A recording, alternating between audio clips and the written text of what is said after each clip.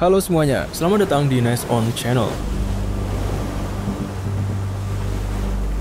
Lifeboat, atau yang sering disebut perahu penyelamat, adalah salah satu elemen terpenting dalam keamanan maritim. Ini adalah sarana utama untuk menyelamatkan awak kapal dalam situasi darurat seperti kebakaran, kebocoran, atau kapal tenggelam. Kehadiran lifeboat menjadi penentu keselamatan bagi setiap kapal dan awak kapal menjadi bagian integral dari standar keselamatan maritim yang ditetapkan oleh organisasi internasional seperti International Maritime Organization atau IMO. Lifeboat menjadi alat utama untuk evakuasi darurat di laut. Pada September 1923, lifeboat paling kuat di dunia dibuat oleh RNLI, Royal National Lifeboat Institution, Perahu memiliki daya tampung hingga 150 orang dan hampir tidak dapat tenggelam dengan struktur gada tik dan sekat baja ringan. Lifeboat modern lebih dari sekedar perahu penyelamat biasa.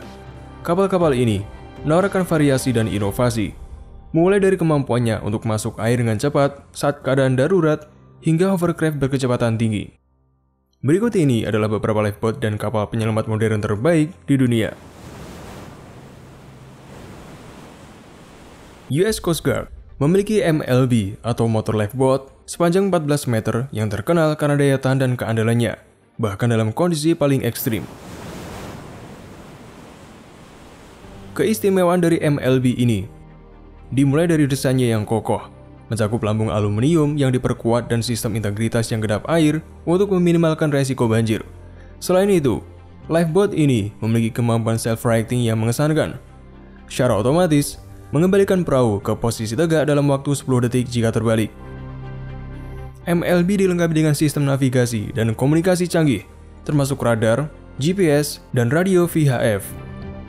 Memastikan kru dapat mempertahankan pemahaman situasional dan berkoordinasi secara efektif dengan penyelamat lainnya. Kompartemen survivor yang luas dari lifeboat ini dapat menampung hingga 30 orang. Kecepatannya mencapai hingga 25 knot memungkinkannya untuk merespon cepat dalam keadaan darurat. Mesin kinerja tinggi dan jangkauan 321 km menjadikannya aset yang tangguh dalam operasi pencarian dan penyelamatan.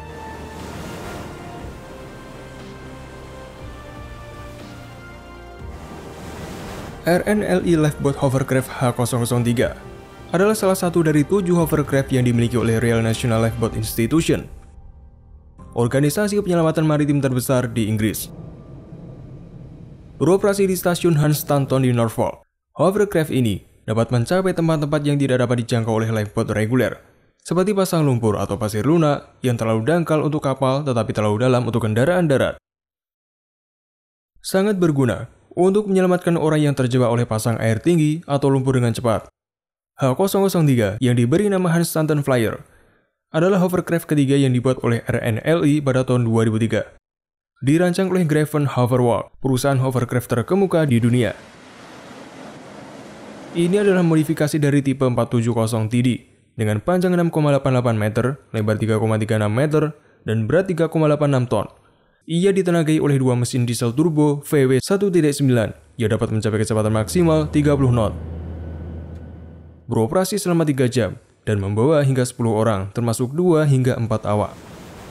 Lifeboat ini juga dilengkapi dengan fitur-fitur canggih seperti sistem navigasi GPS, radar, radio VHF, lampu sorot, sirine, dan perangkat pelampung.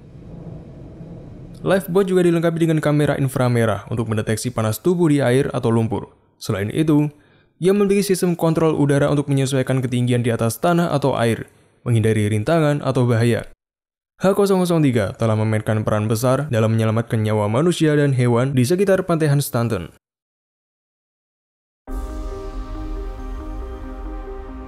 Viking Lifecraft 360 menggabungkan versi terbaik dari skoci dan rakit penyelamatan ke dalam satu alat penyelamat revolusioner.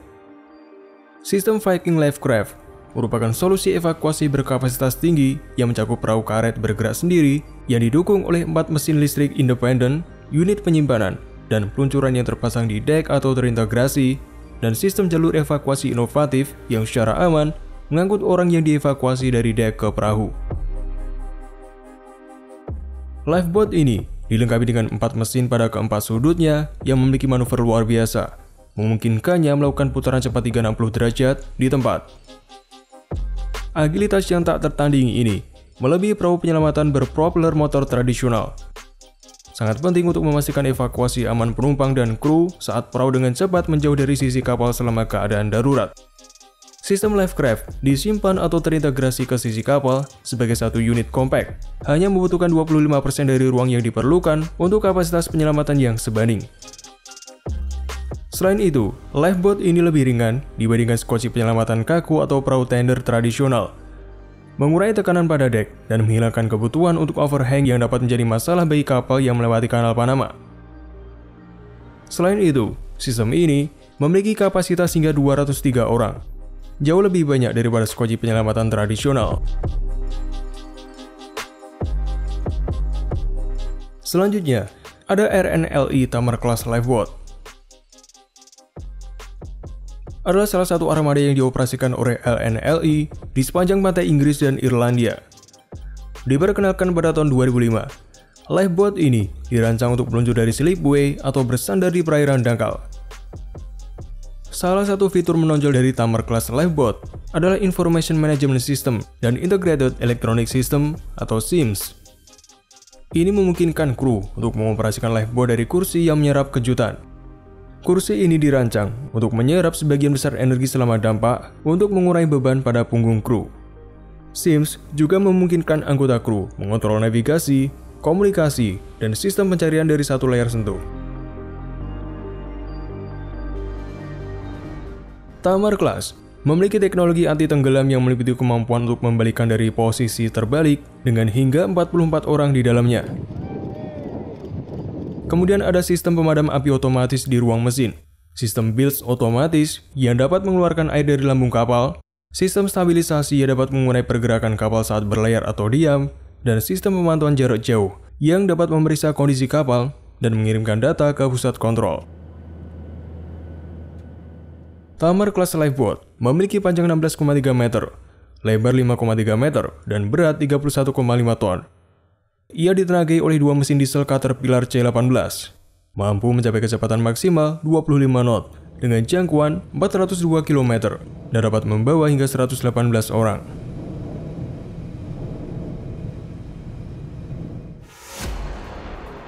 Lifeboat Vanguard dapat menampung hingga 24 penyelam bersama dengan 4 anggota kru ia dilengkapi dengan mesin diesel, generator, fasilitas kru, dan sistem pendukung kehidupan, memberikan kemampuan bertahan mandiri selama 72 jam. Vanguard SPHL Lifeboat dapat diluncurkan menggunakan sistem David gravitasi, dilengkapi dengan sistem pelepasan dan pengambilan lifeboat G-Safe Hook yang mendukung semua fungsi peluncuran dan pemulihan sesuai standar IMO atau SOLAS atau ABS. Shannon Class Lifeboat adalah salah satu kelas terbaru dari kapal penyelamatan yang dikerahkan oleh RNLI. Ini juga merupakan kapal penyelamatan modern pertama yang menggunakan jet air untuk propulsi daripada baling-baling tradisional. Menjadikannya lebih lincah dan lebih mudah manuver daripada kapal penyelamatan lainnya. Lifeboat ini seluruhnya dirancang oleh tim rekayasa RNLI. Kelas Shannon menggunakan teknologi mutakhir untuk memenuhi tuntutan layanan penyelamatan abad ke-21, membangun sistem yang lebih lanjut yang dikembangkan untuk kelas sebelumnya, Tamar kelas Lifeboat. Lifeboat ini dirancang untuk sistem peluncuran dan pemulihan pantai yang lebih cepat dan aman, tetapi juga dapat diluncurkan dari slipway atau tambatan. Kelas Shannon secara bertahap menggantikan kapal penyelamatan kelas Mersey dan Tin yang mendekati akhir masa operasional mereka. Kelas Shannon dinamai sesuai sungai Shannon, sungai terpanjang di Irlandia dengan panjang 386 km. Lifeboat ini memiliki panjang 13 meter dan berat 18 ton dan dapat melaju hingga 25 knot. Ia diharapkan dapat memberikan cakupan penyelamatan di sekitar pantai Inggris dan Irlandia untuk masa mendatang. Kapal ini dapat membawa hingga 6 anggota kru dengan kapasitas bertahan hidup 23 orang jika terbalik atau 79 jika tidak terbalik. Ditenagai oleh dua mesin diesel Scania DI13M, masing-masing dengan daya 650 horsepower, menggerakkan dua jet air Hamilton HJ364. Kecepatan maksimalnya hampir sama dengan yang lainnya, 25 knot, dengan jangkauan 460 km. Fitur lainnya termasuk sistem navigasi dan komunikasi canggih, radar, GPS, radio VHF, sistem identifikasi otomatis, dan SIMS, sistem manajemen informasi dan komando, yang memungkinkan kru mengoperasikan sistem utama kapal dari dalam roda kemudi atau dari posisi eksternal. Hingga saat ini, terdapat 29 kapal penyelamatan kelas Shannon aktif dalam armada RNLI, baik di stasiun maupun sebagai bagian dari armada bantuan.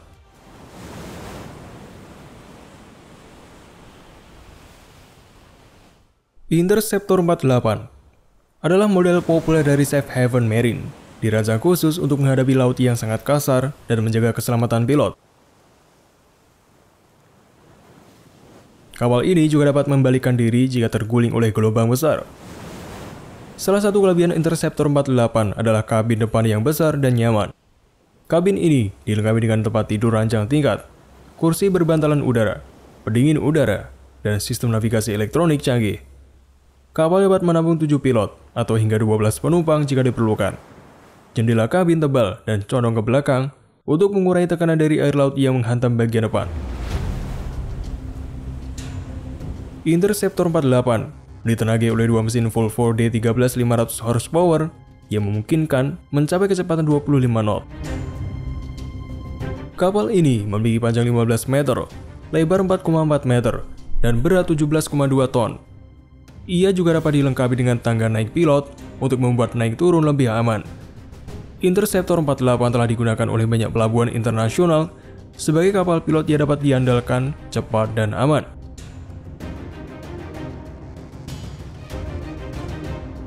Lifeboat Pelmerin MPC-49 dan CTL-57 dirancang untuk memberikan keamanan dan efisiensi maksimum selama evakuasi maritim. Lifeboat ini dibangun untuk menahan kondisi paling ekstrim dengan fokus pada integritas struktural dan stabilitas. Lifeboat ringan Palfinger MPC-49 menampilkan desain yang ramping. Situasi kritis memerlukan waktu pemuatannya cepat dan kemampuan untuk memuat sebanyak mungkin penumpang dengan aman. Lifeboat ini memegang rekor dunia untuk memuat 440 penumpang ke dalam lifeboat dalam waktu hanya 5 menit 21 detik. Di sisi lain, CTL-57 dari Palfinger yang dirancang oleh Mark Lombard menawarkan peluncuran lifeboat yang lebih kuboy dengan fitur kenyamanan tambahan seperti kursi empuk dan penyujuk udara. Lifeboat serbaguna ini dapat menampung 132 orang sebagai tender dan 223 orang saat berfungsi sebagai lifeboat. CTL-57 pada intinya adalah lifeboat mewah dan saat ini merupakan salah satu tender terbesar di pasaran.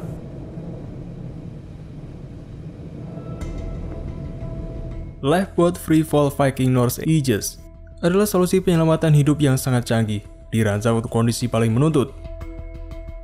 Lifeboat ini memegang rekor untuk pelepasan free fall tertinggi sebesar 40 meter dengan kru terbanyak.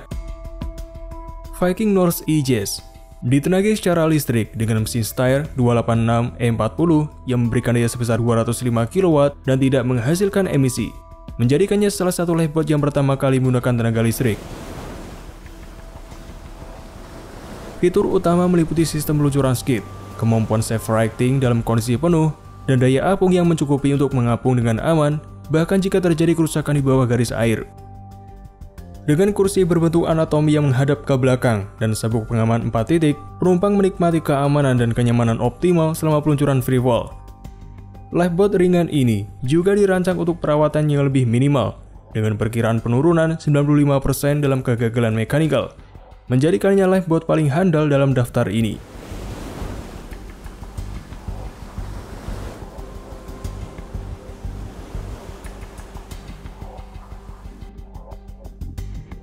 Tentu saja, untuk bertahan di laut terbuka, lifeboat saja tidak cukup. Diperlukan perlengkapan pendukung untuk memastikan kelangsungan hidup para penyintas di dalamnya. Dan ini menjadi sangat krusial untuk setiap lifeboat. Perlengkapan dalam setiap rescue boat dan aksesorisnya mungkin bervariasi, namun ada beberapa alat dan peralatan wajib yang seharusnya ada. Beberapa di antaranya termasuk set pedal apung dengan dua cadangan, pedal kemudi, dan lima set tali tambat beserta rantainya. Selain itu, Lifeboat seharusnya juga dilengkapi dengan boat hook, dua propeller untuk setiap lubang bersama dengan rantainya. Untuk perahu yang dilengkapi dengan staker otomatis, staker biasa tidak diperlukan. Meskipun jenis lifeboat dapat berbeda di setiap kapal, yang paling penting adalah memastikan bahwa lifeboat dapat dilepaskan dengan cepat dan efisien untuk memberikan bantuan kepada mereka yang dalam kesulitan secepat mungkin. Oleh karena itu, terdapat tiga jenis mekanisme pelepasan lifeboat. Pertama, mekanisme on-load. Mekanisme ini fokus pada pelepasan lifeboat dari sling atau kawat tali baja. Mekanisme ini fokus pada pelepasan lifeboat dari sling atau kawat tali baja ketika orang masih berada di dalam perahu operasional ketika perahu akan menyentuh air, memastikan pendaratan yang lancar tanpa merusak perahu atau membahayakan penumpangnya. Kedua adalah mekanisme offload. Jenis ini melepaskan perahu setelah sepenuhnya berada di laut. Melibatkan unit piston hidrostatik di bagian bawah yang terhubung ke tuas pengoperasian. Setelah berada di air, tekanan air menggerakkan tuas ke atas, melepaskan lifeboat dari sling rope-nya. Dan ketiga adalah mekanisme pelepasan free fall Freefall Lifeboat memiliki mekanisme pelepasan di mana perahu diluncurkan dari posisi penyimpanan dengan mengoperasikan tuas di dalam perahu. Hal ini menyebabkan perahu meluncur turun menuruni bidang miring dan jatuh ke permukaan air.